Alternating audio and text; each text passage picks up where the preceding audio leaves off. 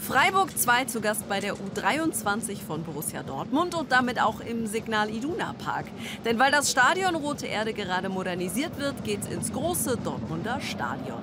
In der Anfangsphase beide Teams mit wenig Torgefahr. Der BVB in Gelb versucht's über Standards, Ecke Passalic und in der Mitte lauert Papadopoulos.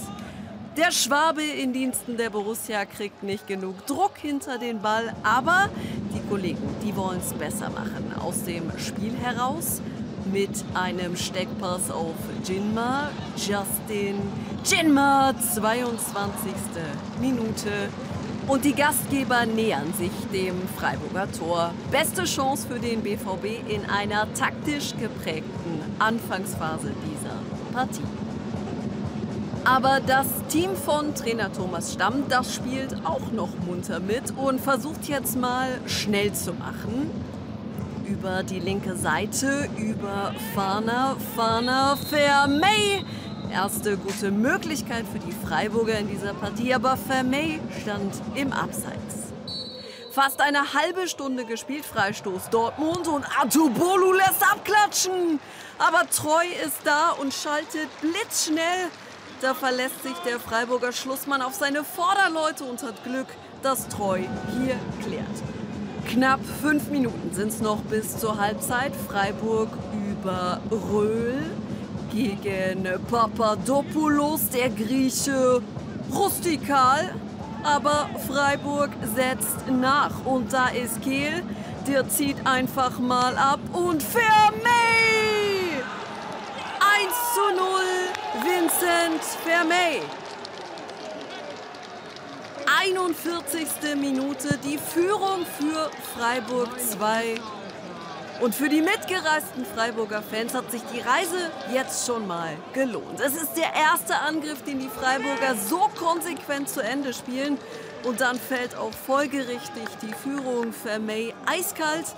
Der Treffer so kurz vor der Halbzeit, ganz wichtig für Freiburg und ganz bitter für Christian Preußer, Trainer der Dortmunder, der bis 2021 noch bei Freiburg 2 an der Seitenlinie stand.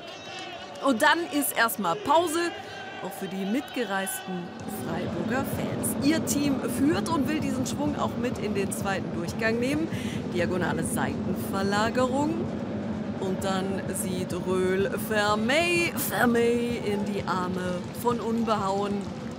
Aber die Freiburger mit der guten Idee, die Seite zu verlagern, es dann schnell zu machen und so wird's auch gefährlich. Apropos gefährlich wird's jetzt wieder. Wieder mit einer guten Seitenverlagerung. Da ist Rosenfelder, der spielt in die Lücke zu Vermey Vincent Vermey 2-0. 61. Minute Doppelpack. Nächstes Tor, nächster ekstatischer Jubel. Die Freiburger nutzen hier die riesige Lücke in der Dortmunder Defensive und bestrafen das direkt. Der zweite Treffer von Freiburg 2 ist übrigens auch eine Lehrstunde in Sachen Effizienz. Aber Dortmund 2 steckt nicht auf und versucht es nochmal. Jetzt nach einem ruhenden Ball. Eberwein lenkt das Ding ans Aluminium und dann ist da Koulibaly mit der nächsten dicken Chance. Aber sie machen sie nicht und genau das macht ihn heute aus. Den großen Unterschied zwischen diesen beiden Teams. Denn die Dortmunder haben sie ja die Chancen, auch in der Schlussviertelstunde. Arning gegen 1, 2, 3 Freiburger drüber. Da fehlt dann einfach die Präzision. Und die Freiburger, was machen die eigentlich? Ja, die laden die Gastgeber dann sogar fast noch ein zu einem Tor. Atu Bolu, was macht der denn da? Da hat der Keeper Riesenglück, dass die heraneilenden Dortmunder das hier nicht nutzen. Die aber spielen in der Schlussphase wirklich nur noch auf ein Tor. Jinma, Justin Jinma und der kann es kaum fassen. Schon wieder nicht drin? Nee, schon wieder nicht drin. Und dabei bleibt es dann auch.